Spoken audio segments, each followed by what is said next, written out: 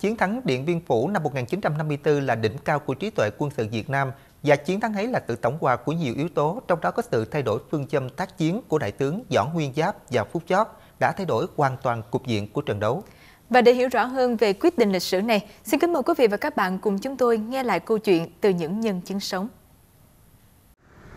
65 năm đã qua đi, nhưng những ký ức về những tháng ngày chiến đấu, làm việc trong chiến dịch Điện Biên Phủ vẫn không thể nào phai mờ trong ký ức của Đại tá Nguyễn Bội Dông, khi đó là bí thư quân sự của Thiếu tướng Hoàng Văn Thái, tham mưu trưởng của chiến dịch. Ông Dông dù đã ngoài 90 tuổi mà vẫn không thể nào quên từng chi tiết nhỏ.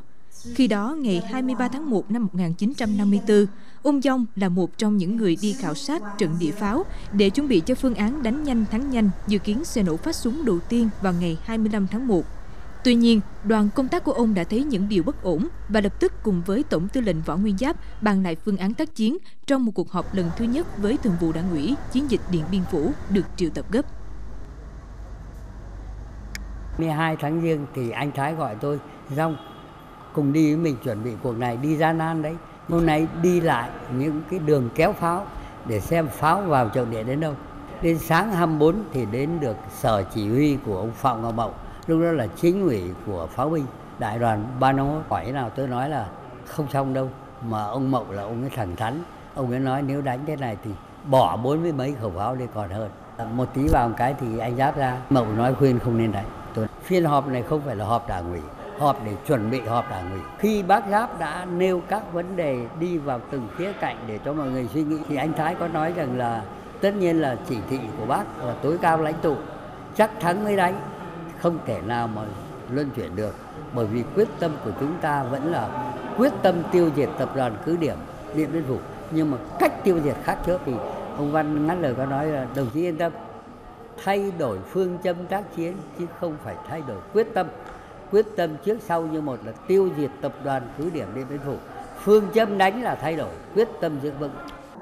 ngay sau đó, mệnh lệnh lập tức được truyền đạt xuống các đơn vị và song song với đó, việc chuyển bức mật thư quan trọng của Đại tướng Võ Nguyên Giáp tới Tây Bắc Hồ ở an toàn khu Thái Nguyên là một việc làm quan trọng bởi nếu chuyển qua đường điện tính sẽ lộ bí mật. Và ông Nguyễn Công Dinh khi đó là sĩ quan vụ tác chiến, Bộ Tổng tham mưu đã được giao nhiệm vụ vô cùng khó khăn này. Đó là một hành trình không thể nào quên với ông. Gửi vào anh là lấy một cái phong bì đã dán sẵn rồi trong là có viết cái thư anh ấy ra anh ấy ừ, giao đưa cho tôi và anh nói là cầu có cái nhiệm vụ là mang cái thư này về an toàn khu để báo cáo với bác hồ. Thì cái, cái thư của đại tướng chúng tôi bỏ đây mà cứ mang luôn luôn cho người này đường đông lắm. Thì chúng tôi đi đi như thế là tôi đi suốt đêm. Qua xong thế là chúng tôi lên xe chúng tôi đi ngay. Thì xe tôi đi đến một đoạn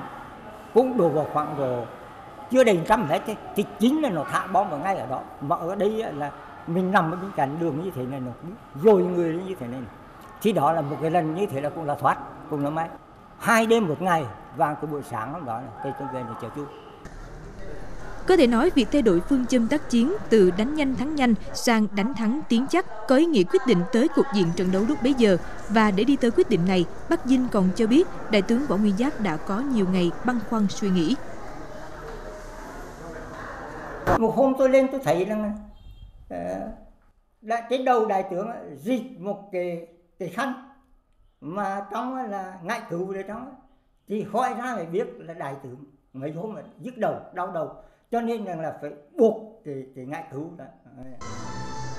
Đổi từ đánh nhanh thắng nhanh sang phương châm đánh thắng tiến chắc nếu không có sự thay đổi kịp thời của vị tướng lĩnh Võ Nguyên Giáp cùng đồng đội sau khi thị sát nắm rõ tình hình, nếu không có một quyết định dũng cảm gần như đi ngược lại quan điểm của cố vấn nước ngoài và đảng ủy lúc đó, thì có lẽ sẽ không có chiến thắng Điện Biên Phủ rực rỡ Nam Châu, chấn động địa cầu khi ấy.